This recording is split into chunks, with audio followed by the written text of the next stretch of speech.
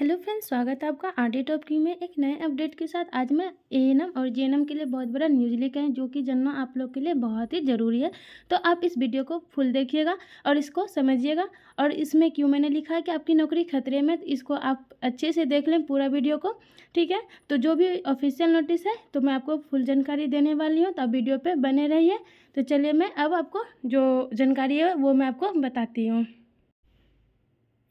तो मैं पेज पे आ गई हूँ, आप देख सकते हैं, ये आपका आज के हिंदुस्तान पेपर में दिया हुआ है। तो इसमें क्या कहा गया तो वो आप समझिएगा, सूबे के नर्सिंग संस्थानों के छात्रों को दूसरे राज्य में नहीं मिलेगी नौकरी, यानी अगर बिहार से आप नर्सिंग का डिग्री ले रहे हैं तो आप अदर स्टेट में जॉब नहीं कर पाएँगे, यही इन्होंने कहा और ऐसा क्यों कहा है, ये भी समझिए। देखिए, इसमें कहा गया है कि वर्ष दो हज़ार अठारह के बाद के संस्थानों ने केवल बिहार सरकार से ली है मान्यता, जबकि ऐसे संस्थानों को आई से लेनी है, सुटेबल सुटेबिलिटी रिपोर्ट तो इसमें क्या है, देखिए, बिहार में नर्सिंग की पढ़ाई कर रहे छात्रों को केंद्रीय सेवाओं या दूसरे राज्य में रोज़गार नहीं मिलेगा। तो मैं आपको शॉर्टकट में ये बता देती हूँ कि इसमें जो ये कहा गया, इसका कारण सबसे बड़ा है कि इन्होंने सुटेबलिट रिपोर्ट नहीं लिया। इस वजह से कहा गया, जो कि आईएनसी से लेना बहुत ही ज़रूरी है। तो ऐसा क्यों हुआ क्यों नहीं लिया गया? तो इसमें देखिए लास्ट में इन्होंने कहा है कि लेकिन देखिए यहाँ से पढ़ते हैं। दरअसल वर्ष 2018 के पहले राज्य में मिलने वाले सरकारी गैर सरकारी संस्थानों की संबद्धता आईएनसी से ली जाती थी।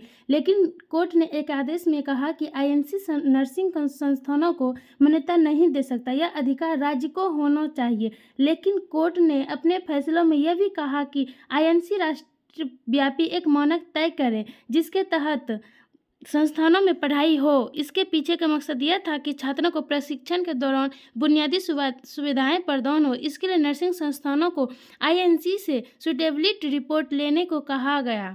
लेकिन मान्यता मिलने के बाद नर्सिंग संस्थानों ने इस नियम का पालन नहीं किया।